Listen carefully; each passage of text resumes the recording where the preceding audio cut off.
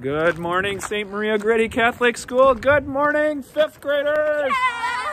All right, it's a beautiful day in the neighborhood. It's Monday, November 22nd, 2021. It's a short week this week, Cardinals, for Thanksgiving. And here's a fun fact for today. A fun fact for you today cows can walk upstairs but not down them. We would like to mention throughout this month of November, we can focus on the virtue of stewardship, which means returning to God the first fruits of your time, talent, and treasure. Our relationship with Jesus Christ is founded in God's love for us. As members of the church, we have the joy of sharing his kingdom work with our time. Our talents and giving giving of our treasure and these.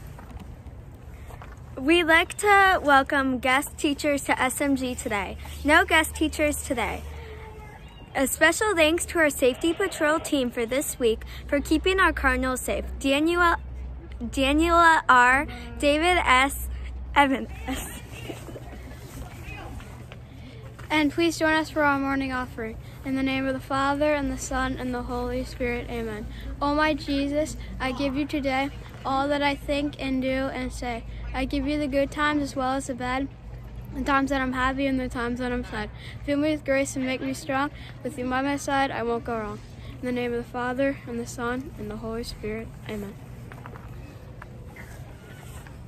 Now it's time for the Pledge of Allegiance.